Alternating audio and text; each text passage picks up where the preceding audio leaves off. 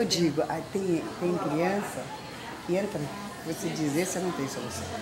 Aquele é, tá terrível, aquele é rua, que roubava na rua, que, que pedia esmola, que morava na rua. Menina, em um mês, dois meses, você vem aqui e você não reconhece a criança. É outra pessoa. É outra pessoa. Daí eles viram criança de novo, voltam a ser criança. a gostar. Isso. A gostar de ser criança. Eles acabam sendo uns adultos Não, em casa, né? eles chegam um cara adulto, sabe? Meio. De repente eles relaxam, eles voltam a ser criança. É, essa é a satisfação, sabe? Quando eu vejo isso acontecer, eu digo, meu Deus, esse acho que salvou. Valeu a pena, sabe? né? Esse valeu a trabalho. pena, graças a Deus. É, Tem uns que, que já estão afetados, que, não, que não não vem. que daí tem, tem psicológico deles, é difícil. Já é Você tem que trabalhar né? muito. Esse que passou por agora, é um dos que eu tenho que focar muito tudo aqui.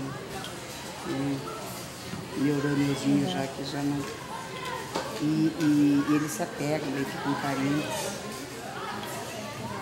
Surdo, Sim. né, às vezes. Às vezes é, porque eu não venho fim de semana pra cá, né? Daí às vezes me ligo, que futuro, problema. É, não acontece, É. aqui é, é claro. Em casa a gente tem problema com filho, Exatamente, a gente os- com nas- 30, né? As crianças, nossa, É. tem tudo, né? Já É são, isso que eu digo. fazem...